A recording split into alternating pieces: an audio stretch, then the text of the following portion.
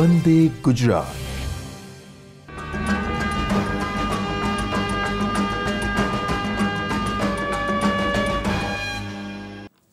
નમસ્કાર, વિદ્યાર્થી મિત્રો. આજે ધોરણ અગિયાર વિજ્ઞાન પ્રવાહ, જીવ વિજ્ઞાનમાં આપણે ચેપ્ટર નંબર દસ, કોષ ચક્ર અને કોષ વિભાજન વિશે અભ્યાસ કરીશું. વિદ્યાર્થી મિત્રો, આપણે જાણીએ છીએ કે બાળકનો જન્મ થાય ત્યારે એનું જે કદ હોય અને થોડા વર્ષો બાદ આપણે એનું કદ જોઈએ, એ કદની અંદર ખૂબ જ મોટા પ્રમાણની અંદર વધારો થયેલો જોઈ શકીએ છીએ તે ઉપરાંત કોઈ આપણે રોપીએ, ત્યારે અને ત્યારબાદ એનું અંકુરણ થયા બાદ નાનો છોડ બને અને ધીરે ધીરે મોટા વૃક્ષની અંદર પરિણમે, તો ધીરે ધીરે એના કદની અંદર પણ પુષ્કળ વધારો થયેલો આપણે જોઈ શકીએ છીએ તો વિદ્યાર્થી મિત્રો, આ કઈ રીતે થતું હશે? એક નાના સ્વરૂપમાંથી મોટું સ્વરૂપ ધારણ કરવું એ સિવાય જ્યારે આપણે કંઈ વાગીએ છીએ કંઈ રમતા હોઈએ અને પડી જઈએ, અને કંઈ વાગે, અને તે ભાગ છોલાઈ જાય તો થોડા સમય બાદ તે કુદરતી રીતે જ ત્યાં નવા કોષો આવી અને એ સ્થાન પણ ત્યાં ભરાઈ જતું હોય છે. તો એની માટેની જે ક્રિયા છે, જવાબદાર તેનું નામ છે કોષ ચક્ર અને કોષ વિભાજન, કે ત્યાં આજુબાજુ રહેલા કોષોનું વિભાજન થાય છે અને વિભાજન થતાં એ ઘા પામેલી જગ્યા ઉપર નવા કોષો સ્થાન લઈ લે છે અને આ રીતે નવા કોષોનું નિર્માણ થતાં તે સપાટી આખી ભરાઈ જતાથી આપણે ઘા સારો થઈ જતો હોય છે. તે જ પ્રમાણે વૃદ્ધિની ક્રિયા, જેમ આપણે કહ્યું એમ કે નાનું બાળક મોટું થાય, તો તે સમયે જે કોષો હતા એ કોષોની અંદર પુષ્કળ મોટી સંખ્યાની અંદર વધારો થાય છે અને આ રીતે કોષોની સંખ્યા વધતાની સાથે વૃદ્ધિ થવાથી કદ પણ વધે છે. તો એની માટે જવાબદાર ક્રિયા એટલે કે કોષ વિભાજન વિશે કે એક કોષમાંથી કઈ રીતે બે કોષો બને છે, તે ક્રિયા આજે આપણે એકદમ વિસ્તૃતની અંદર જોઈશું. આપણે ટેરીટોપ પર જોઈએ. આપણે જોઈશું કે સજીવના જીવનની શરૂઆત એક જ કોષથી થતું હોય છે. તો આ એક કોષ એટલે કે કયો કોષ? કે જ્યારે નરજન્યુ અને માદાજન્યુ એટલે કે શુક્રકોષ અને અંડકોષ એકબીજા સાથે જોડાય અને જે પ્રથમ કોષ બને જેને આપણે યુગ્મન જ અથવા તો ફલિતાંડ તરીકે ઓળખીએ છીએ તે ફલિતાંડ એ સૌ પ્રથમ કોષ છે જેમાંથી નવા સજીવનું નિર્માણ થતું હોય છે. આ કોષનું વારંવાર વિભાજન થાય છે અને સમવિભાજન દ્વારા ઘણા બધા કોષોનો જથ્થો બને અને ત્યારબાદ ધીમે ધીમે ક્રમશઃ કોષોમાંથી પેશીઓ, પેશીમાંથી અંગ, અંગમાંથી અંગતંત્ર અને અંતે સમગ્ર સજીવ દેહનું નિર્માણ થતું હોય છે. તો આ રીતે સજીવનું નિર્માણ થાય છે. આપણે જોઈએ કે વૃદ્ધિ અને પ્રજનન એ બધા સજીવોની લાક્ષણિકતા છે. દરેકે દરેક સજીવ એ પછી એકકોષી હોય કે બહુકોષી હોય. દરેકે દરેક સજીવ વૃદ્ધિ પામે છે અને પ્રજનનની ક્રિયા પણ કરે જ છે.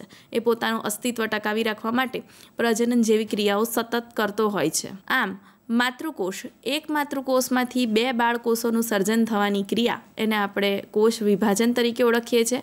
જેની અંદર વૃદ્ધિ અને વિભાજન આ બે ક્રિયા થાય છે અને ધીરે ધીરે એકમાંથી બે, બેમાંથી ચાર એમ કરતાં કરતાં લાખો કોષો ધરાવતી બંધારણીય રચના અસ્તિત્વમાં આવી જતી હોય છે. આ રીતે નવા સજીવનું નિર્માણ થવાની ક્રિયા જે આપણે કોષ વિભાજન તરીકે ઓળખીએ છીએ. આપણે શરૂ કરીએ કોષ ચક્રથી કોષ ચક્ર કોષ ચક્ર એટલે શું? એક કોષ બને ત્યારથી બીજા કોષ બનવાની ક્રિયા, એટલે કે એક કોષના નિર્માણથી એનું વિભાજન થઈને નવો કોષ બને, ત્યાં સુધીની સમગ્ર ક્રિયાને આપણે કોષ ચક્ર તરીકે ઓળખીએ છીએ. એ ઘણા બધા તબક્કાઓની અંદર વિભાજિત થયેલું છે. તો આ કોષ વિશે આપણે અભ્યાસ કરીએ કે એની અંદર કઈ કઈ ક્રિયાઓ થાય છે, એક કોષમાંથી બે કોષ બનવા માટે શું શું ફેરફાર થાય છે. તો માતૃકોષ જેવું જ જનીન સંકુલ ધરાવતા સંતતિ કોષોના નિર્માણને સૂચવે છે, એને આપણે કોષ ચક્ર તરીકે ઓળખીએ છીએ.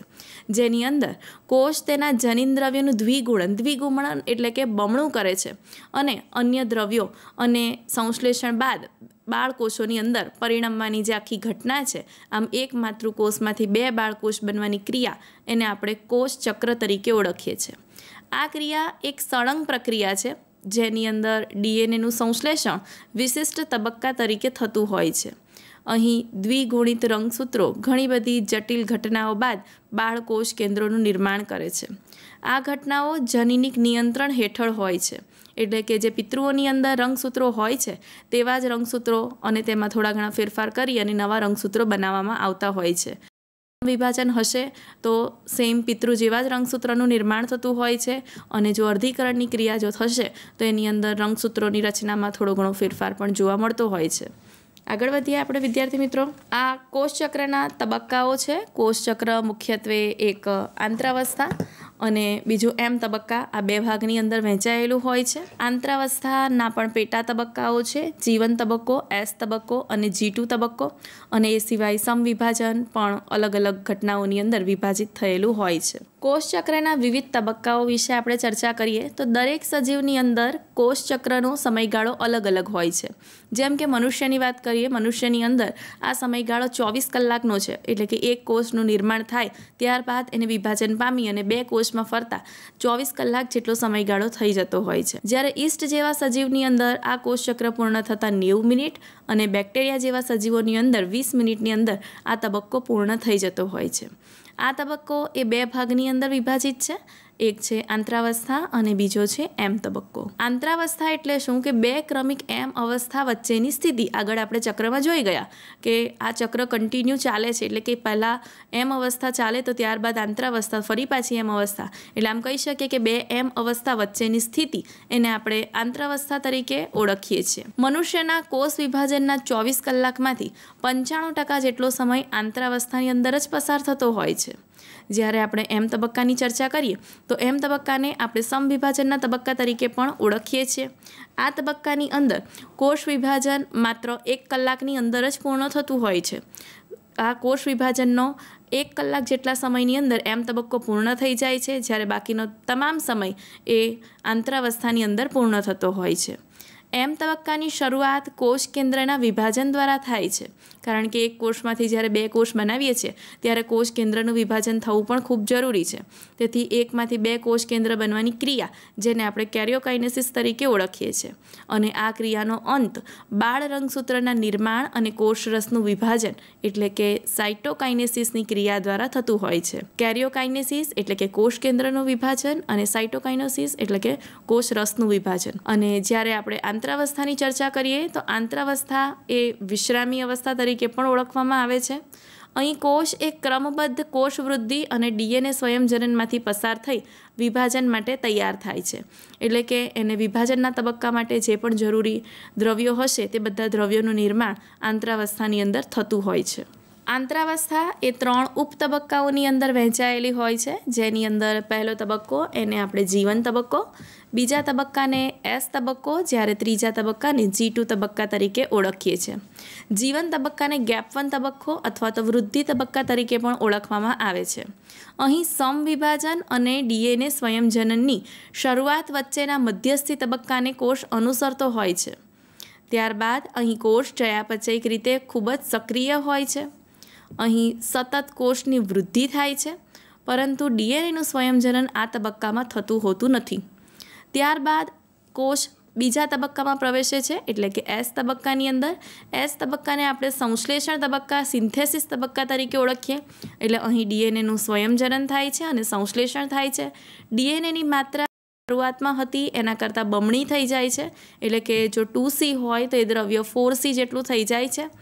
રંગસૂત્રની સંખ્યા આ તબક્કામાં જળવાઈ રહે છે. એટલે કે જીવન તબક્કા, એટલે કે વૃદ્ધિ તબક્કામાં જો ટ્વાઇઝેન એટલે કે દ્વિકીય હોય, તો એસ તબક્કામાં પણ ટ્વાઇઝેન એટલે કે દ્વિકીય જ રહે છે. પ્રાણી કોષની જો આપણે ચર્ચા કરીએ, તો એના તારા કેન્દ્રમાં કોષરસમાં દ્વિગુણનની શરૂઆત પણ થઈ જાય છે.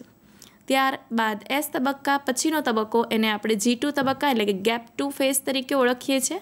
અહીંયા સમવિભાજનની તૈયારી સ્વરૂપે પ્રોટીનનું સંશ્લેષણ થઈ જાય છે અને કોષની વૃદ્ધિ સતત ચાલુ રહે છે. આમ અહીં આપણે ત્રણ તબક્કા જોયા જીવન એસ અને જી ટુ જીવન તબક્કાની અંદર જરૂરી દ્રવ્યો એટલે કે કદ વધવું વગેરે ફેરફારો થાય છે.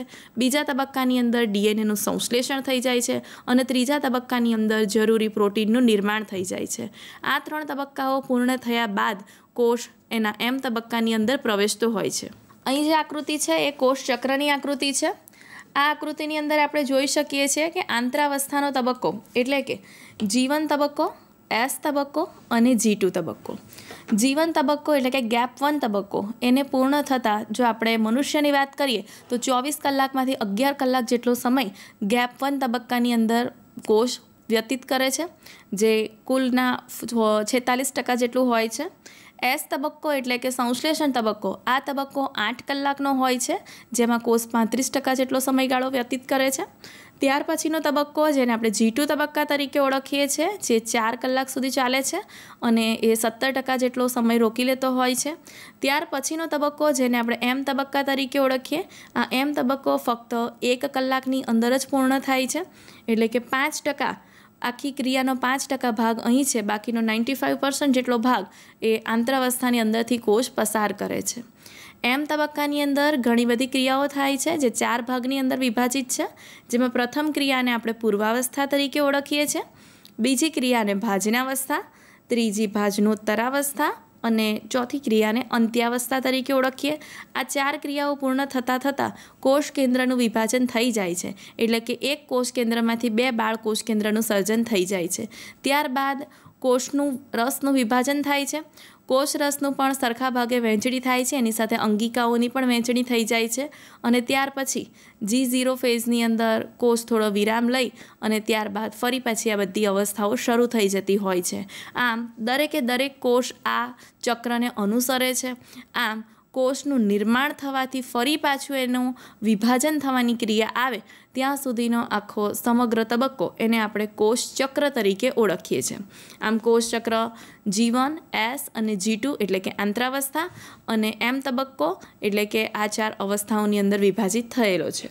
આપણે જોઈ શકીએ છીએ કે કોષચક્રની શરૂઆત એમ તબક્કાથી આપણે કરીએ તો ત્યારબાદ જીવન તબક્કો એટલે કે આંતરાવસ્થાનો પહેલો તબક્કો જ્યાં કોષની વૃદ્ધિ થાય છે. ત્યારબાદ કોષ આગળ વધે છે અને એસ તબક્કામાં દાખલ થાય છે. ત્યારબાદ કોષ વિભાજન માટે તૈયાર થઈ અને ત્યારબાદ એનું વિભાજન, સમવિભાજન અથવા તો અર્ધીકરણ જે પણ ક્રિયા અહીંયા થવાની હોય તે અહીં એમ તબક્કાની અંદર થતી છે.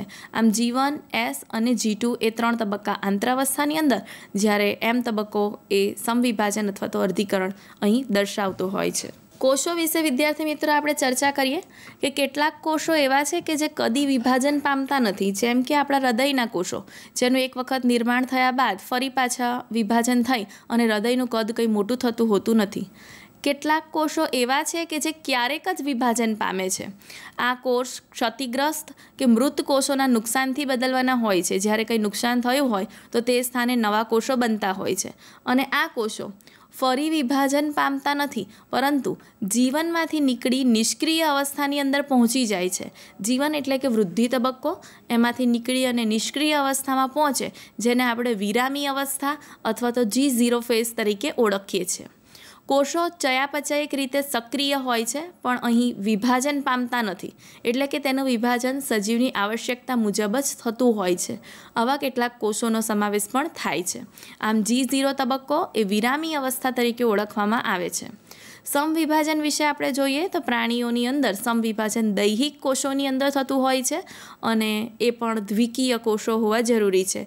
જ્યારે વનસ્પતિની ચર્ચા કરીએ તો વનસ્પતિની અંદર એકકીય અથવા દ્વિકીય બંનેની અંદર આ ક્રિયા જોવા મળતી હોય છે અને એની માટે એકાંતર જનન જે આપણે પ્રકરણ નંબર ત્રણની અંદર અભ્યાસ કરી ચૂક્યા તે ઘટનાઓને અનુસરી અને વનસ્પતિની અંદર પણ આપણે આ ક્રિયા જોઈ શકીએ છીએ.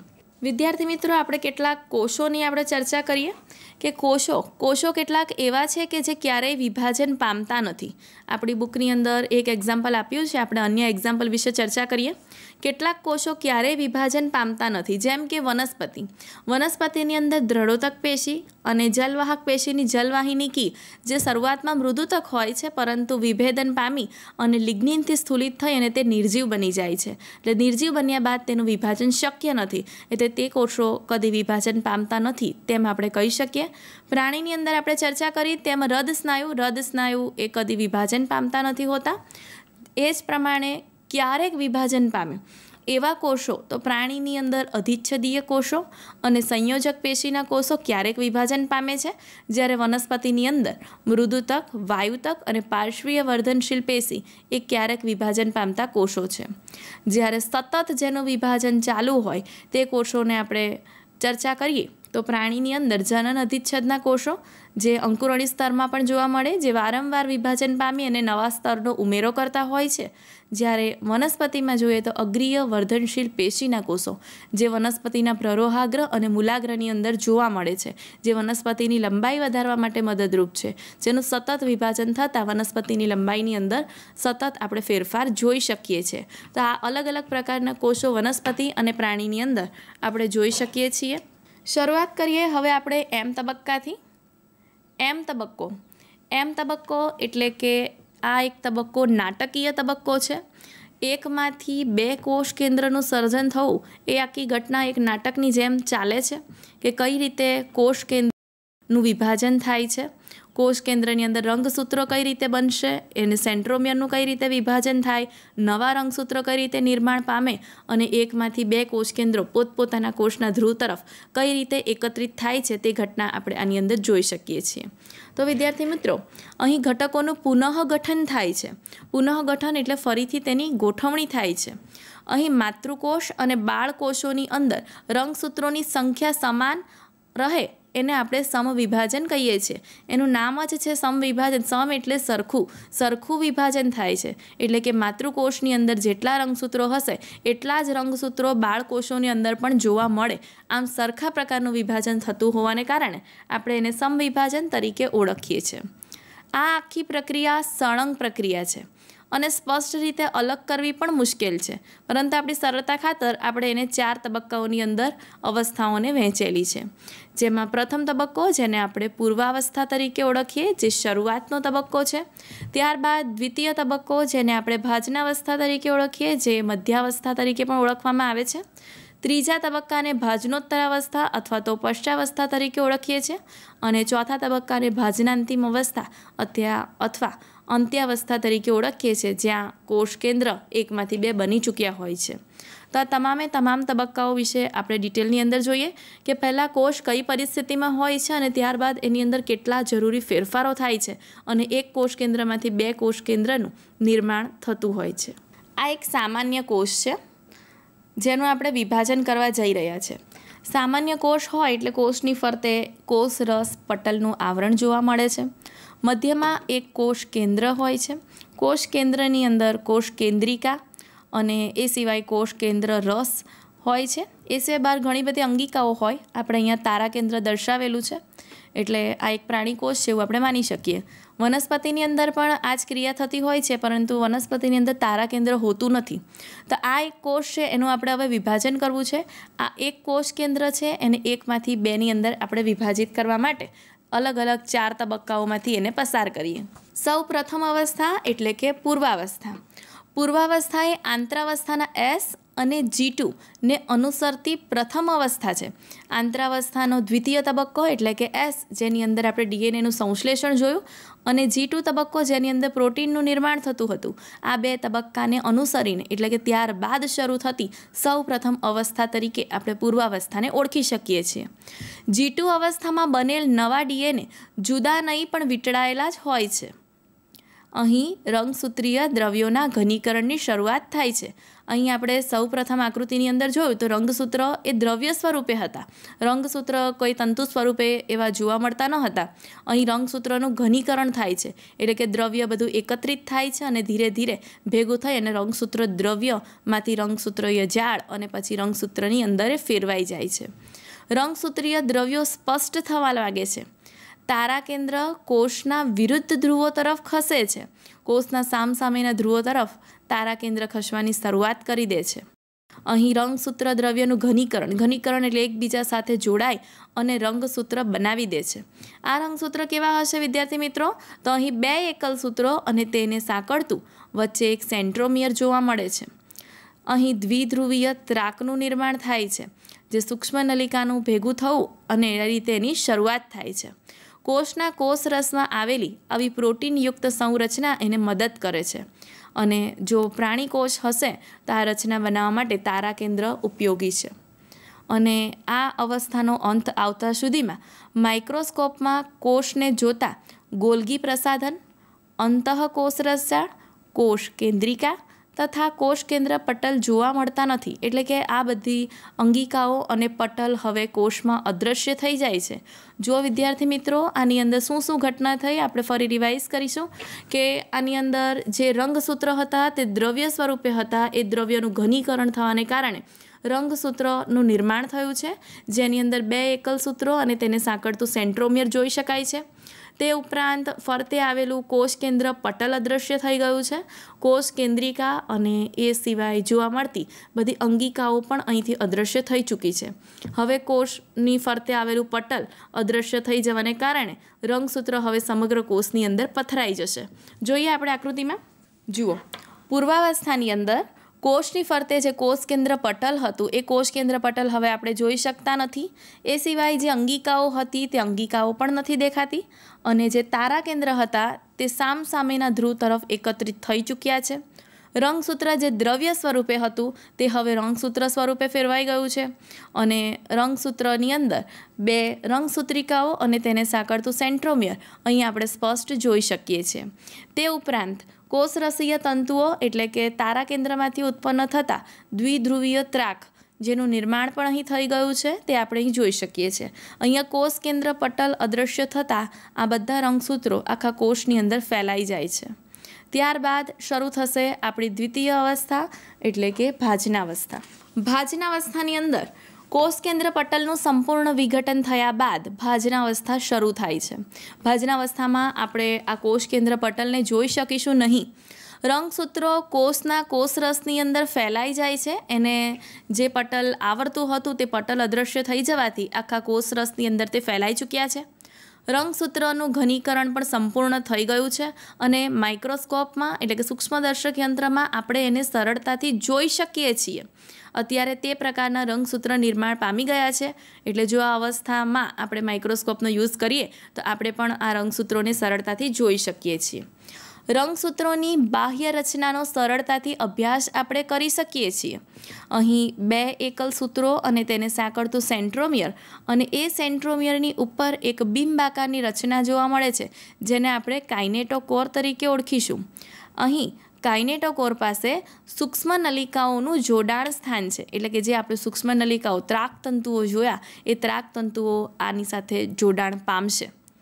મધ્યાવસ્થાના જે રંગસૂત્રો ગોઠવાય તેને આપણે મધ્યાવસ્થા પટ્ટિકા અથવા તો ભાજન તલ તરીકે ઓળખીએ. આપણો પૃથ્વીનો ગોળો હોય તો એમાં મધ્યમાં જે રીતે વિષુવૃત આવે તે રીતે આપણા કોષમાં જે મધ્ય ભાગ છે એને આપણે ભાજન તલ અથવા તો મધ્યાવસ્થા પટ્ટિકા તરીકે ઓળખીએ છીએ. આ મધ્યાવસ્થા પટ્ટિકા ઉપર રંગસૂત્રો હરોળની અંદર ગોઠવવાની ક્રિયા હવેથી શરૂ થવાની તૈયારી પર છે. ત્રાકતંતુઓના રંગસૂત્રના કાઇનેટોર્સ વડે હવે જોડાઈ જાય છે. રંગસૂત્રો બંને ધ્રુવો પર રહેલા ત્રાકતંતુઓ દ્વારા મધ્યાવસ્થા પટ્ટિકા ઉપર ગોઠવાઈ જાય છે. એટલે કે મધ્યાવસ્થા પટ્ટિકા ઉપર તમામ રંગસૂત્રો એક લાઇનની અંદર વ્યવસ્થિત રીતે ગોઠવાઈ જતા હોય છે અને એની ગોઠવણીની આભારી સૂક્ષ્મ નલિકા છે. સૂક્ષ્મ નલિકા એટલે કે ત્રાકતંતુઓને આધારે તેઓ મધ્યાવસ્થા પટ્ટિકા ઉપર ગોઠવાઈ જાય છે. આપણે આકૃતિમાં જોઈશું. ભાજનાવસ્થાની અંદર આ વચ્ચેનો મધ્ય ભાગ જેમણે વિષુવવૃત્તીય પ્રદેશ તરીકે ઓળખાવ્યો, વિષુવવૃત્તીય તલ અથવા મધ્યાવસ્થા પટ્ટિકા અથવા તો એને મધ્યસ્થ તલ તરીકે પણ ઓળખવામાં આવે છે. આ મધ્ય ભાગ ઉપર તમામ રંગસૂત્રો જે વેર વિખેર હતા તે અહીં મધ્ય ભાગની અંદર ગોઠવાઈ ગયા છે. એનું કારણ છે આ ત્રાકતંતુઓ એના કાઇનેટોકોર્સ સાથે સેન્ટ્રોમિયર સાથે, કાઇનેટોકોર્સ સાથે જોડાઈ ગયા છે અને તેના કારણે તેઓ કોષના મધ્ય ભાગ તરફ ગોઠવાઈ જાય છે. ત્યાર પછીની ક્રિયા આપણે જોઈશું ભાજનોત્તરાવસ્થાની અંદર. ભાજનોત્તરાવસ્થાની અંદર હવે સેન્ટ્રોમિયરનું વિભાજન થશે. ભાજનોત્તરાવસ્થા. ભાજનતલ ભાજનતલ એટલે આપણે જે વિષુવવૃત્તીય પ્રદેશ જોયો તે. ત્યાં આવેલા રંગસૂત્રોના સેન્ટ્રોમિયર વિભાજન પામે છે. અને વિભાજન પામવાથી રંગસૂત્રિકાઓ છૂટી પડે છે. અને પછી નવા બાળ કોષ કેન્દ્રનું રંગસૂત્ર રંગસૂત્રિકાઓ તરીકે ઓળખાય છે. તેનું નિર્માણ થઈ જાય છે. આ રંગસૂત્રિકાઓ વિરુદ્ધ ધ્રુવ તરફ ખસે છે. રંગસૂત્ર મધ્યાવસ્થા પટ્ટિકાથી ધીરે ધીરે દૂર જાય છે અને જ્યારે એ દૂર જશે પોતપોતાના ધ્રુવ તરફ, ત્યારે સેન્ટ્રોમિયરનો ભાગ આગળની તરફ હશે અને એની ભૂજા જે છે તે પાછળની તરફ હશે. અહીં સેન્ટ્રોમિયરનું વિભાજન અને રંગસૂત્રિકાનું અલગીકરણ અહીં જોવા મળે છે. રંગસૂત્રિકાઓ પોતપોતાના વિરુદ્ધ ધ્રુવ તરફ ખસવાની શરૂઆત કરે છે. એટલે કે અહીં જે ત્રાકતંતુઓ હતા, એ ત્રાકતંતુઓની લંબાઈ ટૂંકી થાય છે અને ત્રાકતંતુઓની લંબાઈ ટૂંકી થવાને કારણે સેન્ટ્રોમિયરનું વિભાજન થાય છે. આપણે આકૃતિમાં જોઈશું. જો આકૃતિમાં. આપણે ભાજના અવસ્થાની અંદર જોયું હતું કે અહીં જે રંગસૂત્રો હતા તે વિષુવવૃત્તીય તલ ઉપર હતા. અહીં આ ત્રાકતંતુઓ ટૂંકા થવાને કારણે સંકોચાય છે, ખેંચાય છે. એના કારણે રંગસૂત્રોની રંગસૂત્રિકાઓ છૂટી પડે છે. સેન્ટ્રોમિયરનું પણ વિભાજન થાય છે અને આ ત્રાકતંતુ ધીમે ધીમે સાંકડા થવાને કારણે, ટૂંકા થવાને કારણે આ રંગસૂત્રિકાઓ પોતપોતાના ધ્રુવ તરફ પહોંચે છે. એટલે કે પોતપોતાના ધ્રુવ આ બંને તરફ આ રંગસૂત્રિકાઓ પહોંચવાની તૈયારીમાં હોય છે. આ રીતે અહીં સેન્ટ્રોમિયરનું વિભાજન થતાં આ બે તંતુઓ છૂટા પડેલા જોઈ શકાય છે. ત્યાર પછીની અવસ્થા એટલે કે અંત્યાવસ્થા, જેને આપણે અંત્યાવસ્થા તરીકે ઓળખીએ છીએ. અહીં ધ્રુવ પાસે પહોંચતા રંગસૂત્રોનું વિસ્તરણ થાય છે. આપણે જોયું કે રંગસૂત્રો ત્રાકતંતુઓ ટૂંકા થતાં આગળની અવસ્થામાં ધ્રુવ તરફ પહોંચી રહ્યા હતા. તે રંગસૂત્રો હવે એનું વિસ્તરણ થઈ જશે. જે રંગસૂત્રિકાઓ હતી તે હવે સ્વતંત્ર રંગસૂત્ર તરીકે વર્તે છે. અને એ રંગસૂત્રનું વિસ્તરણ થયું અને વિસ્તરણ થતાં તે રંગસૂત્ર દ્રવ્યમાં ફેરવાય છે. આપણે પૂર્વાવસ્થાની અંદર જોયું કે ઘનીકરણ થાય છે. ઘનીકરણ થાય એટલે કે રંગસૂત્ર દ્રવ્ય હતું તે રંગસૂત્રમાં ફેરવાયું. જ્યારે અહીંયા વિસ્તરણ થાય છે એટલે કે રંગસૂત્ર હવે રંગસૂત્ર દ્રવ્યમાં ફેરવાય છે. આ બંને ક્રિયાઓ એકબીજાને વિરુદ્ધ રીતે થતી હોય છે. બંને ધ્રુવ બાજુ એક સમૂહની જેમ આ રંગસૂત્ર દ્રવ્ય એકત્રિત થઈ જાય છે. આ રંગસૂત્ર વિરુદ્ધ ધ્રુવો તરફ એકત્રિત થઈ જાય અને સ્વતંત્ર ઓળખાણ ગુમાવી દે છે. એટલે તેઓ રંગસૂત્ર તરીકે હવે આપણે એને જોઈ શકતા નથી કારણ કે તે દ્રવ્યની અંદર ફેરવાઈ ગયા હોય છે. રંગસૂત્ર સમૂહોની આજુબાજુ કોષ કેન્દ્ર પટલનું પણ નિર્માણ થઈ જાય છે. રંગસૂત્ર દ્રવ્યમાં ફેરવાઈ ગયા અને ફરતે કોષ કેન્દ્ર પટલ આવી ગયું અને જે અંગિકાઓ પૂર્વાવસ્થાની અંદર અદૃશ્ય થઈ હતી તે તમામ અંગિકાઓ હવે આપણે ફરીથી જોઈ શકીએ છીએ. જેમ કે કોષ કેન્દ્ર પટલ પછી કોષ કેન્દ્રિકા, ગોલગી પ્રસાધન, એન્ડોપ્લાઝમિક રેટિક્યુલમ એટલે કે અંતઃ કોષરસ ઝાડ એ ફરીથી પુનઃ નિર્માણ થાય છે, એટલે કે ફરીથી દ્રશ્યમાન થાય છે. જે અદૃશ્ય થઈ ગઈ હતી, તે આપણે જોઈ શકીએ છીએ. આમ, આ અવસ્થાના અંતની અંદર, આપણે આકૃતિની અંદર જોઈએ, તો બંને ધ્રુવો તરફ એક એક કોષ કેન્દ્રનું નિર્માણ થઈ ગયું છે.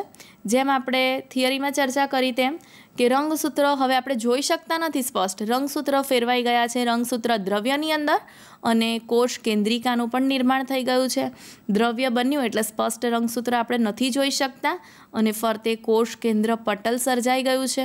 અને જે અંગિકાઓ પૂર્વાવસ્થામાં અદૃશ્ય થઈ હતી, એટલે કે અંતઃ કોષરસ ગોલગીકાય ગોલ્ગીકાય વગેરે અંગિકાઓ ફરી પાછી કોષમાં દ્રશ્યમાન થાય છે.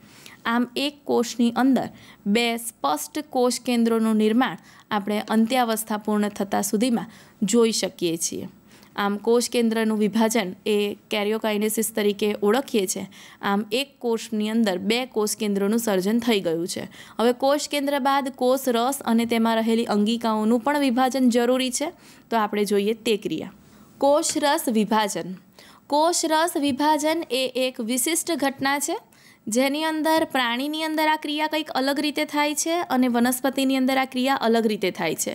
પ્રાણીની અંદર પરિઘ તરફથી વિભાજનની શરૂઆત થાય છે અને કોષના મધ્ય ભાગ તરફ એક ઊંડી ખાંચ ઉતરતી હોય છે અને એકમાંથી બે કોષોનું નિર્માણ થઈ જાય છે. જ્યારે વનસ્પતિમાં આ ક્રિયા ઉલટી હોય છે, એટલે કે કોષના મધ્ય ભાગ તરફથી પરિઘ ભાગ તરફ એક પટલનું નિર્માણ થાય છે, જેની બંને તરફ કોષ દિવાલનું નિર્માણ થાય અને બે કોષ એકબીજાથી છૂટા પડી જાય અને આ રીતે કોષ રસનું પણ વિભાજન થઈ જતું હોય છે. આપણે આકૃતિમાં જોઈએ. અહીં આ એક પ્રાણી કોષ અહીં પરિઘ વિસ્તાર તરફથી મધ્ય વિસ્તાર તરફ એટલે કે એક ઉપસંકોચન ખાંચ સર્જાય છે. આ ખાંચ ધીમે ધીમે મોટી થતાં થતાં આ બંને કોષો એકબીજાથી છૂટા પડી જાય છે. જ્યારે વનસ્પતિની અંદર આપણે ચર્ચા કરીએ તો કોષના મધ્ય ભાગથી પરિઘ ભાગ તરફ એક કોષની પટ્ટીનું નિર્માણ થાય જેને આપણે મધ્ય પટલ તરીકે ઓળખીએ.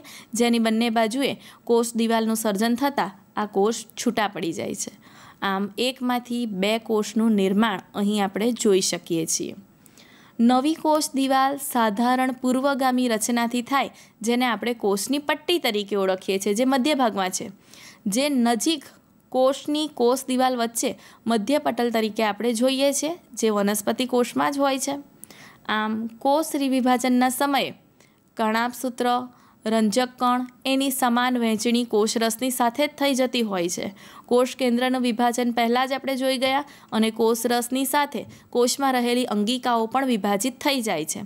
કેટલાક સજીવોની અંદર કોષ કેન્દ્રનું વિભાજન થાય છે, પરંતુ કોષ રસનું વિભાજન થતું નથી. તેના કારણે કોષ કેન્દ્રો એકમાંથી બે, બેમાંથી ચાર એમ કરતાં કરતાં ઘણા બધા કોષ કેન્દ્રોનું સર્જન થઈ જાય છે. અને કોષ રસનું વિભાજન ન થવાને કારણે એક જ કોષની અંદર ઘણા બધા કોષ કેન્દ્રો આપણે જોઈ શકીએ છીએ. તેથી તેને આપણે બહુકોષ કેન્દ્રીય અવસ્થા તરીકે પણ ઓળખીએ છીએ.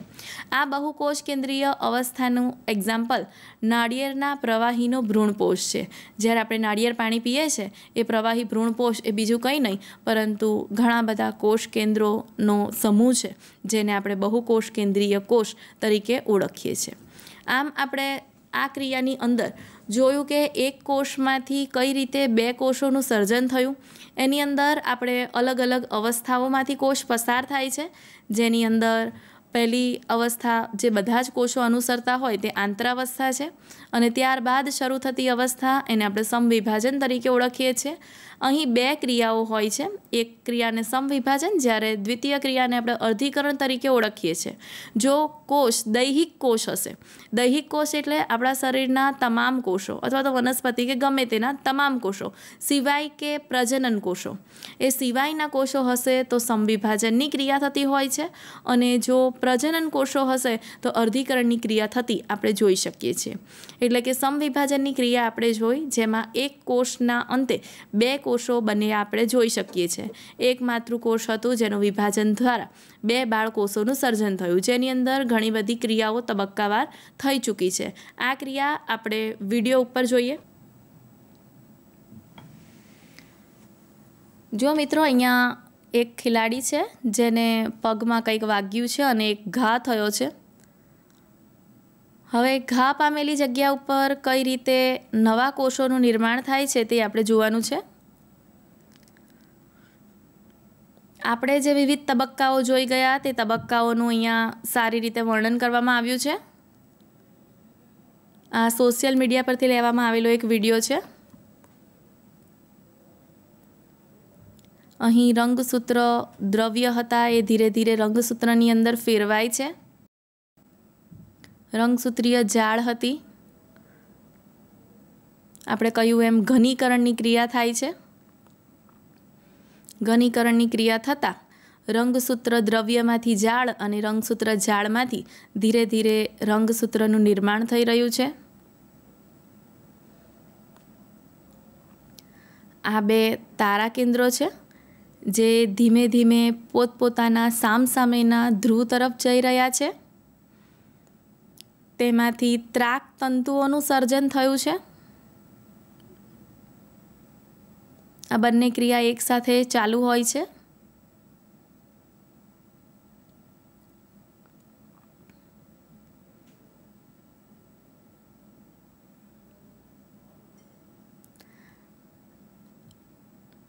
કોષ કેન્દ્ર પટલ અદૃશ્ય થઈ ગયું.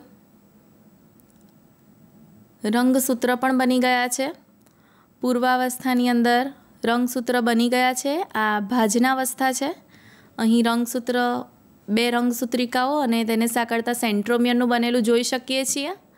અહીં ત્રાક તંતુઓ કાઇનેટોકોર્સ સાથે જોડાઈ રહ્યા છે.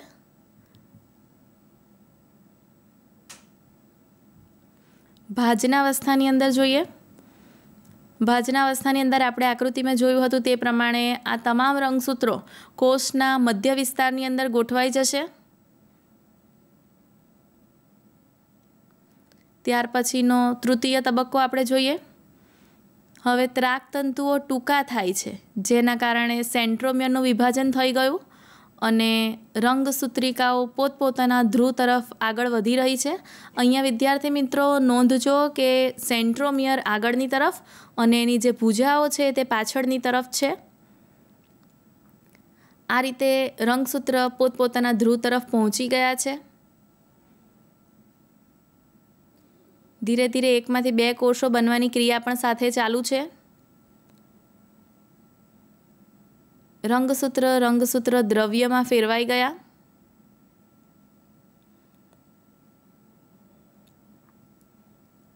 આ રીતે એકમાંથી બે કોષોનું નિર્માણ થઈ ગયું. એની અંદર કોષ રસનું અને એની સાથે સાથે અંગિકાઓનું પણ વિભાજન થતાં એકમાંથી બે અને એમ કરતાં કરતાં ઘણા બધા કોષોનું સર્જન થયું અને આ ઘાવાળો ભાગ છે તે ભાગ આખો રૂજાઈ જાય છે. તેવું આપણે જોઈ શકીએ છીએ. એટલે કે આપણે જે અવસ્થાઓ જોઈ ગયા તે વિડીયોની અંદર ખૂબ સારી રીતે દર્શાવવામાં આવી કઈ રીતે કોષ એકમાંથી બેની અંદર ફેરવાઈ ગયો છે. જેમાં આપણે પ્રથમ જોયું કે પૂર્વાવસ્થા, તો પૂર્વાવસ્થાની અંદર કોષો હતા, તે કોષો રંગસૂત્ર દ્રવ્ય સ્વરૂપે હતા, તે રંગસૂત્ર ઝાડ અને ત્યારબાદ રંગસૂત્રની અંદર પરિણમ્યા.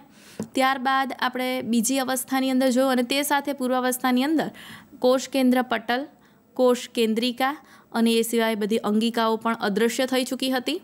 ત્યારબાદ બીજી અવસ્થાની અંદર આપણે રંગસૂત્ર માઇક્રોસ્કોપની અંદર જોઈ શકીએ એટલા સ્પષ્ટ જોવા મળે છે.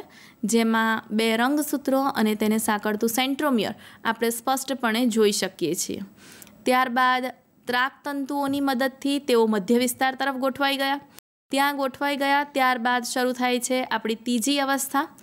આ અવસ્થાની અંદર આ ત્રાકતંતુઓ ટૂંકા થવાને કારણે સેન્ટ્રોમિયર પર ખેંચાણ આવતા તે બે ભાગની અંદર વિભાજિત થાય છે અને એની સાથે રંગસૂત્રિકાઓ પણ છૂટી પડે છે. અને ત્રાકતંતુઓ ટૂંકા થવાને કારણે સામસામેના ધ્રુવ તરફ આ રંગસૂત્રિકાઓ પહોંચે છે. ચોથા તબક્કાની અંદર આપણે જોયું કે અંત્યાવસ્થાની અંદર આ રંગસૂત્ર હતા, તે રંગસૂત્રિકાઓ સ્વતંત્ર રંગસૂત્રની અંદર ફેરવાય અને ધીરે ધીરે એનું વિઘટન થાય છે અને ફરી પાછું રંગસૂત્રીય ઝાડ અને ફરી રંગસૂત્ર દ્રવ્યમાં ફેરવાઈ જાય છે. રંગસૂત્ર દ્રવ્યની અંદર ફેરવાતાની સાથે એની ફરતે કોષ કેન્દ્ર પટલનું નિર્માણ થઈ જાય છે અને એની સાથોસાથ જે અંગિકાઓ કોષરસ એનું વિભાજન પણ ચાલુ હોય છે અને આ રીતે વિભાજન થતાં એકમાંથી બે કોષોનું નિર્માણ થાય છે. હવે આપણે જોઈશું કે આ સંવિભાજનની ક્રિયાનું મહત્ત્વ શું છે.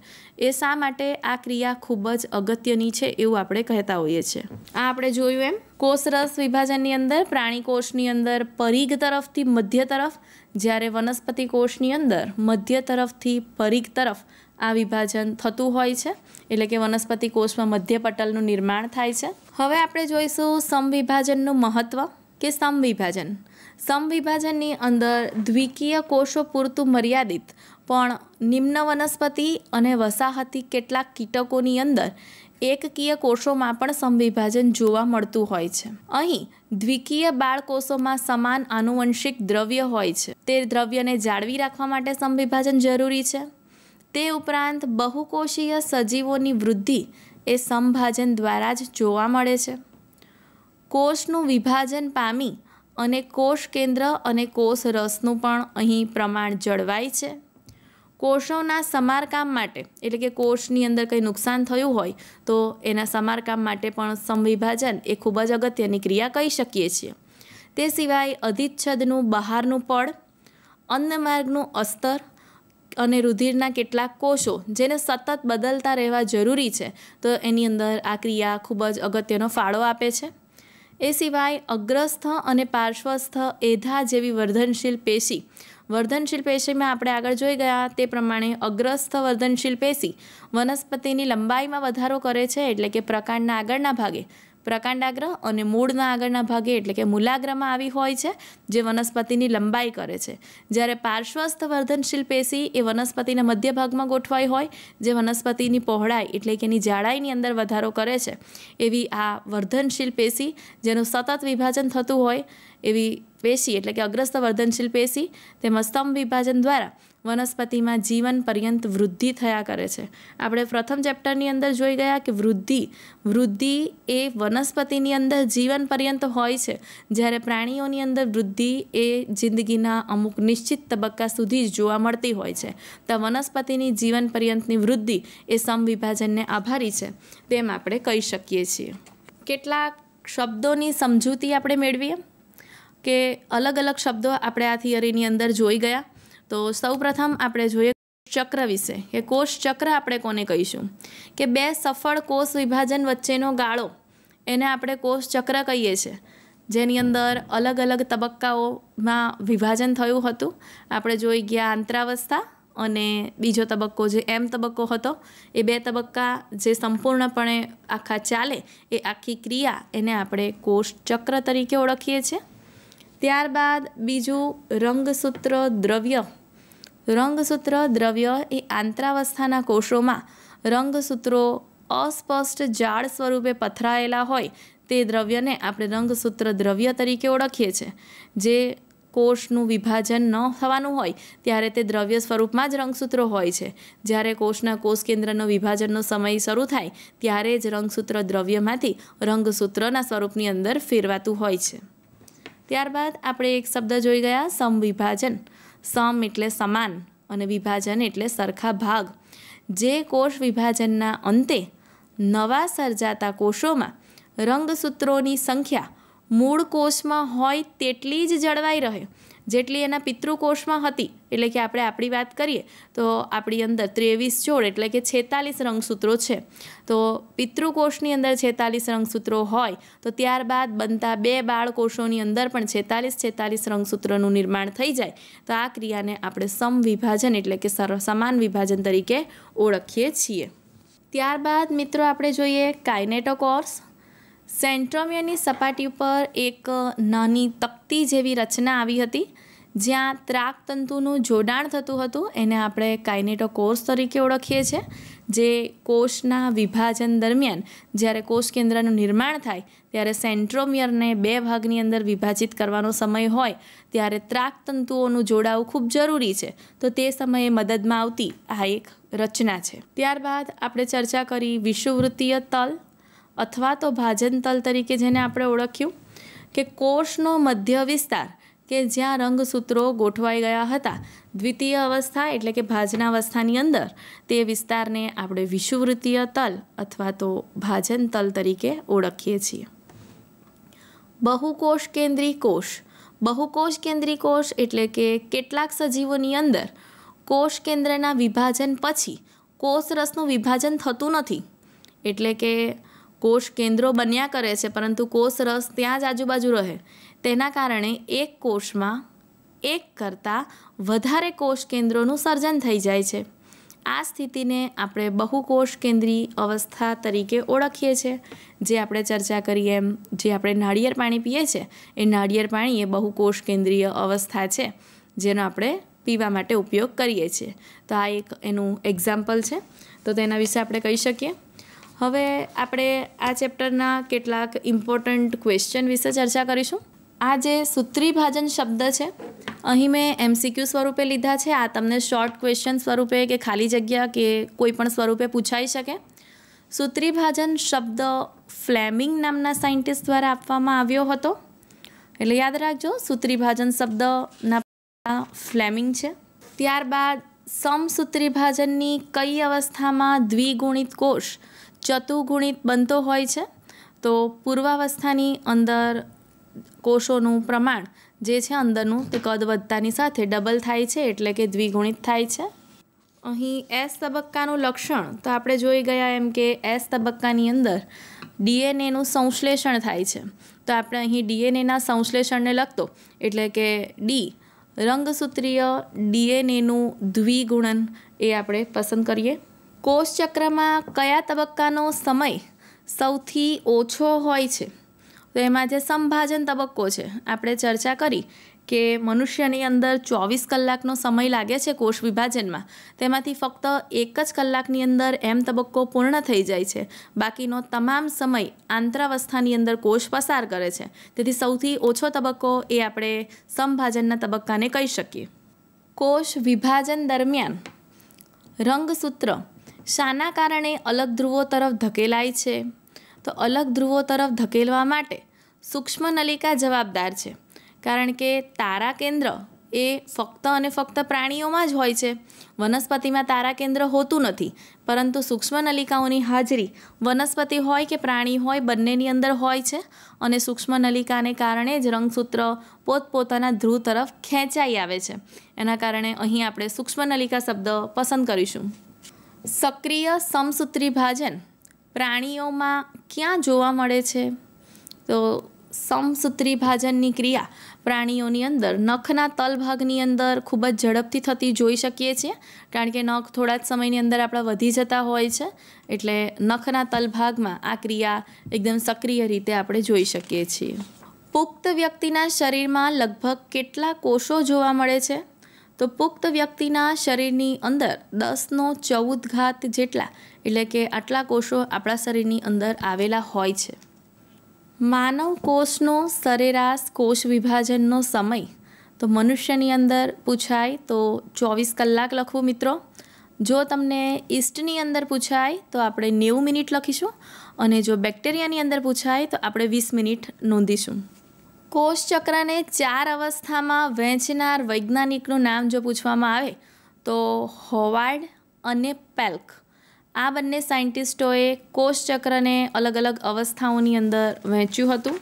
સમસૂત્રી ભાજનના ભાજનોત્તરાવસ્થાની અંદર, જો અંડકોષ પાસે દસ રંગસૂત્રો હોય, તો આ અવસ્થામાં દ્વિકીય કોષ પાસે કેટલા રંગસૂત્રો હશે? અથવા હોવા જોઈએ? તો અહીં સમવિભાજન થાય છે. તો અહીં ચાલીસ જેટલા રંગસૂત્રો દ્વિકીય કોષ પાસે હશે. એકસો ને અઠ્ઠાવીસ કોષોના નિર્માણ માટે એક કોષમાં કેટલા સમવિભાજન જરૂરી છે? અહીં જવાબ સાત આવશે. એ જવાબ કઈ રીતે આવે તો એના વિશે આપણે ચર્ચા કરીએ કે જ્યારે સૌ પ્રથમ કોષનું વિભાજન થાય, ત્યારે પ્રથમ વિભાજનને અંતે એકમાંથી બે કોષો બને. દ્વિતીય વિભાજન થતાં બેમાંથી ચાર બને. તૃતીય વિભાજન થતાં આઠ. ચોથું વિભાજન થતાં સોળ. પાંચમું વિભાજન થતાં બત્રીસ કોષોનું નિર્માણ થાય છે. છઠ્ઠું વિભાજન થતાં ચોસઠ કોષોનું નિર્માણ થાય છે. સાતમું વિભાજન થતાં એકસો અઠ્ઠાવીસ કોષોનું નિર્માણ થાય. આઠમું વિભાજન થતાં આ રીતે તમે ક્રમશઃ આ સંખ્યાને ડબલ કરી અને જેટલા પણ તમને પૂછ્યા હોય ત્યાં સુધી તમે પહોંચી શકો. અહીંયા આપણને એકસો ને અઠ્ઠાવીસ કોષોના નિર્માણ માટે પૂછવામાં આવ્યું છે. તો એકસો ને અઠ્ઠાવીસ કોષોનું નિર્માણ સાતમી વખત જ્યારે કોષોનું સમવિભાજન થતું હશે ત્યારે થયા એવું આપણે જોઈ શકીએ છીએ. અહીંયા જોયું હશે તમે કે ઉપરની સંખ્યા સાથે ગુણ્યા બે કરતા જઈએ છીએ આપણે, કારણ કે પ્રથમ કોષ વિભાજનને અંતે એક માતૃકોષ હોય તો તેમાંથી બે કોષો બને. તો દ્વિતીય કોષ વિભાજનને અંતે બેમાંથી આ રીતે ચાર કોષો બનતા હોય છે. તે પ્રમાણે વિભાજન વધતા જાય તેમ તેમ કોષોની સંખ્યા બમણી થતી જાય છે. તેથી અહીંયા પણ આપણે આ સંખ્યાને બમણી કરતાં કરતાં જે વિભાજન ઉપર આપણો અંક આવે તે વિભાજન આપણો આન્સર તરીકે સિલેક્ટ કરી શકીએ છીએ. તો કહી શકીએ કે એકસો અઠ્ઠાવીસ કોષોના નિર્માણ માટે એક કોષની અંદર સાત સમવિભાજન થવા જરૂરી છે. કેરિયોકાઇનેસિસ એટલે શું? તો કેરિયોકાઇનેસિસ. કેરિયોકાઇનેસિસ પૂછવામાં આવે તો કોષ કેન્દ્રના વિભાજનને આપણે કેરિયોકાઇનેસિસ તરીકે ઓળખીએ છીએ. અહીં જો તમને કોષ રસનું વિભાજન પૂછવામાં આવે તો સાઇટોકાઇનેસિસ તરીકે આપણે નોંધવું પડે. ખાલી જગ્યાએ કોષચક્ર દરમિયાન થતા ડીએનએના સ્વયંજનનનો સમાવેશ કરવામાં આવે છે. ડીએનએના સ્વયંજનનનો સમાવેશ આપણે ભાજનોત્તરાવસ્થાની અંદર કરીશું. ખાલી જગ્યાએ કોષચક્ર દરમિયાન થતા ડીએનએના સ્વયંજનનનો સમાવેશ તો આપણે ચર્ચા કરી ચૂક્યા છે. આંતરાવસ્થાની તબક્કો એસ તેની અંદર આવે. એકમાંથી બસો ને છપ્પન કોષોના નિર્માણ માટે કેટલા કોષ વિભાજન જરૂરી છે? તો આપણે ફરી પાછા આપણા ચાર્ટને ફોલો કરીશું કે બસો અને છપ્પન, તો આને આપણે હજી બમણા કરીશું. તો બસો ને છપ્પન એટલે કે આઠમી વખત એકસો અઠ્ઠાવીસમાંથી બસો ને છપ્પન બની જાય. તો જ્યારે બસો ને છપ્પન પૂછવામાં આવે ત્યારે આપણે આઠ આન્સર સિલેક્ટ કરીશું. મૂળાગ્રના એક કોષમાંથી બસો ને છપ્પન, અહીં આ શબ્દ અગત્યનો છે કે મૂલાગ્ર. મૂલાગ્ર એટલે કે કયો ભાગ? એ દૈહિક કોષનો ભાગ છે કે પ્રજનન કોષનો ભાગ છે એ પહેલાં આપણે વિચારવું રહ્યું. અને એ દૈહિક કોષોનો ભાગ હોવાને કારણે આપણે આ સમવિભાજનની ગણતરીને ફોલો કરીશું. મૂલાગ્ર એટલે કે સમવિભાજનનો ભાગ, જેની અંદર બસો ને છપ્પન કોષો તો આપણે આપણા ચાર્ટને ફોલો કર્યો. તે મુજબ બસો ને છપ્પન કોષોના નિર્માણ થવા માટે આઠમું વિભાજન જરૂરી છે. એટલે આપણે જવાબ અહીં આઠ સિલેક્ટ કરીશું. આપણે અત્યાર સુધી જે આખી તબક્કાને જોઈ ગયા, એ તબક્કાને હવે આપણે ફરીથી એક વખત પુનરાવર્તન કરીશું કે આપણે કોષને કઈ રીતે એકમાંથી બે ભાગમાં વિભાજિત કરવો તેના માટેનો આખો સમગ્ર તબક્કો. એને આપણે કોષ ચક્ર તરીકે ઓળખું. એ કોષ ચક્રના બે તબક્કા આપણે જોઈ ગયા, વિદ્યાર્થી મિત્રો. એક આંતરાવસ્થા અને બીજો એમ તબક્કો. આંતરાવસ્થાની અંદર આપણે પેટા ત્રણ તબક્કાઓ જોયા, જીવન તબક્કો એસ તબક્કો અને જી ટુ તબક્કો. જીવન તબક્કાને આપણે વૃદ્ધિ તબક્કા તરીકે ઓળખ્યો. ત્યારબાદ બીજો તબક્કો એસ તબક્કો, જેની અંદર ડીએનએનું સંશ્લેષણ થાય છે તે આપણે જોયું. ત્યારબાદ ત્રીજો તબક્કો, જેની અંદર પ્રોટીનના તંતુઓનું નિર્માણ થાય છે. એટલે કે જી ટુ તબક્કો, તેના વિશે આપણે જોયું. ત્યારબાદ કોષ પ્રવેશે છે પૂર્વાવસ્થાની અંદર, એટલે કે એમ તબક્કાનો પ્રથમ તબક્કો. આમ એમ તબક્કાના ટોટલ ચાર તબક્કાઓ જોયા. પૂર્વાવસ્થા ભાજનાવસ્થા ભાજનોત્તરાવસ્થા અને અંતે અંત્યાવસ્થા વિશે આપણે ચર્ચા કરી ચૂક્યા. તો પૂર્વાવસ્થાની અંદર આપણે જોયું કે કોષ હતો તો કોષની ફરતે જે કોષ કેન્દ્ર પટલ હતું તે અદૃશ્ય થયું. રંગસૂત્ર દ્રવ્યમાંથી કોષ ફેરવાઈ ગયો રંગસૂત્રમાં અને એની અંદર આવેલી અંગિકાઓ અને કોષ કેન્દ્ર પટલ ધીરે ધીરે અદૃશ્ય થવા માંડ્યું. અને જે તારા કેન્દ્રો હતા તે ધ્રુવના સામસામેના છેડા તરફ પહોંચી ગયા હતા. ત્યારબાદ દ્વિતીય અવસ્થા વિશે આપણે જોયું. દ્વિતીય અવસ્થાની અંદર આ જે રંગસૂત્રો હતા તે સ્પષ્ટ સૂક્ષ્મદર્શક યંત્રમાં જોઈ શકાય તેવા હતા. ત્રાકતંતુમાંથી કોષરસીય તંતુઓનું નિર્માણ તારા કેન્દ્રમાંથી થઈ ચૂક્યું હતું. તે ત્રાકતંતુઓ કોષના મધ્ય ભાગમાં એટલે કે કાઇનેટોકોર્સ સાથે જોડાઈને રંગસૂત્રોને કોષના મધ્ય ભાગની અંદર ગોઠવી દે છે. ત્યારબાદ ત્રીજો તબક્કો, એટલે કે ભાજનોત્તર અવસ્થા ભાજનોત્તર અવસ્થાની અંદર, વિદ્યાર્થી મિત્રો, આપણે જોયું કે કઈ રીતે ત્રાકતંતુઓનું સંકોચન થાય છે, એની લંબાઈ ટૂંકી થાય, જેના કારણે દબાણ લાગતાની સાથે સેન્ટ્રોમિયરનું વિભાજન થાય અને બે રંગસૂત્રિકાઓ છૂટી પડી અને સામસામેના ધ્રુવ તરફ એકત્ર થાય. છૂટી પડેલી રંગસૂત્રિકાઓ પોતપોતાના ધ્રુવ સુધી પહોંચે છે. ત્યાર પછીની અવસ્થા આપણે અંત્યાવસ્થા જોઈ, વિદ્યાર્થી મિત્રો. અંત્યાવસ્થાની અંદર આપણે જોયું કે કઈ રીતે રંગસૂત્ર, એ પોતે રંગસૂત્ર જાળ અને રંગસૂત્ર દ્રવ્યની અંદર પરિવર્તિત થયા અને એની ફરતે કોષ કેન્દ્ર પટલ, કોષ કેન્દ્રિકા અને એ સિવાયના જરૂરી અંગિકાઓ ફરી પાછી દ્રશ્યમાન થવા લાગી. ત્યારબાદ કોષ કેન્દ્રના નિર્માણ બાદ કોષ રસનું વિભાજન જોયું. કે વનસ્પતિ હોય તો તેની અંદર કોષના મધ્ય ભાગમાંથી પરિઘ ભાગ તરફ, એટલે કે કોષની વચ્ચે એક મધ્ય પટલ બને જેની બંને તરફ કોષ દિવાલનું નિર્માણ થઈ અને એકમાંથી બે બાળ કોષોનું સર્જન થાય છે. જ્યારે આપણે પ્રાણીની અંદર જોયું કે પ્રાણીની અંદર પરિઘ ભાગમાંથી મધ્ય ભાગ તરફ એક ખાંચ ઉપસી આવે છે અને એના કારણે કોષ એકમાંથી બે ભાગની અંદર વિભાજિત થઈ જાય છે. અને એની સાથે કોષ રસ અને કોષની કેટલીક અંગિકાઓનું પણ વિભાજન થતું, અહીં આપણે જોયું છે. ત્યારબાદ આપણે ચર્ચા કરી કે કઈ રીતે સમવિભાજન જરૂરી છે, કઈ કઈ ક્રિયાઓ માટે જરૂરી છે. તો રંગસૂત્રોની સંખ્યા જાળવી રાખવા માટે તે જરૂરી છે. સમારકામ કરવા માટે જરૂરી છે કોષોનું અને કેટલાક કોષોને નિયમિતપણે બદલવાની જરૂરિયાત હોય તો તે સમયે આ કોષ ખૂબ જ જરૂરી છે, આ ક્રિયા. તે સિવાય સજીવની વૃદ્ધિ માટે પણ આ ક્રિયા જરૂરી છે. આમ, સમવિભાજનનું મહત્ત્વ સમવિભાજન અને કોષચક્ર વિશે આજે આપણે ચર્ચા કરી. કોષચક્રની જી ઝીરો શાંત અવસ્થા શું છે? એના વિશે હવે આપણે વિદ્યાર્થી મિત્રો ચર્ચા કરીશું. તો ચાલો વિદ્યાર્થી મિત્રો, હવે પુખ્ત પ્રાણીઓની અંદર કેટલાક કોષો વિભાજન પામતા નથી.